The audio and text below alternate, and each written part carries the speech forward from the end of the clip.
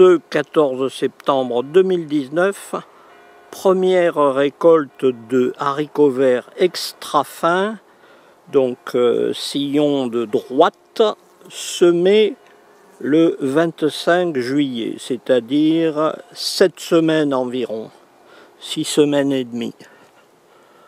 Voilà.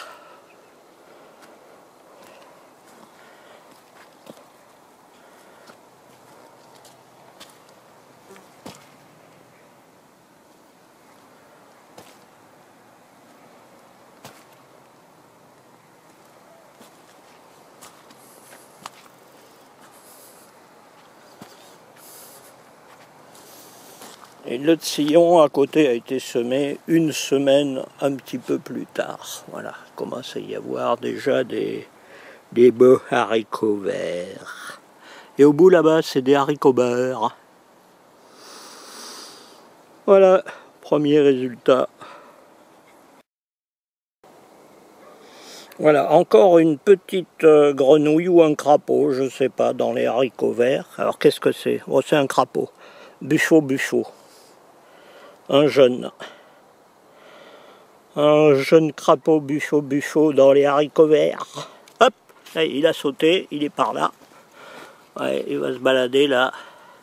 Il va me bouffer des bestioles, ce qui est très bien. Merci le crapaud. Et le crapaud, c'est pas un truc que j'écrase, parce que c'est utile dans les jardins. Par contre, les sauterelles, je les écrase. Et alors, il y a des petits imbéciles incultes sur YouTube qui, parce que j'ai écrasé une sauterelle, me disent « sale con ».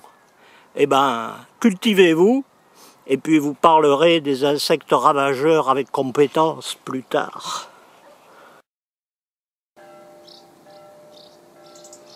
Voilà le travail des sauterelles pour les, les idiots, les imbéciles qui disent il faut protéger ces petites bêtes. Voilà les ravages des sauterelles.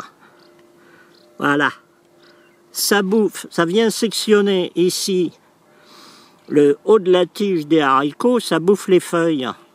Voilà, donc ça c'est un pied qui est foutu. Y en a-t-il d'autres?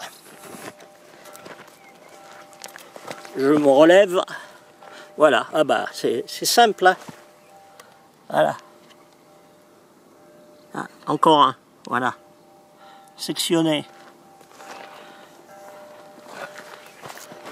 Sectionner, sectionner. Merci les sauterelles.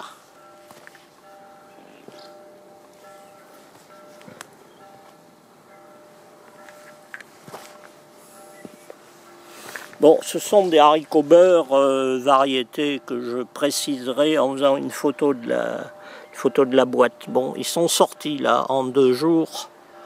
Il n'y avait rien. Là, c'est parti. C'est parti, c'est parti.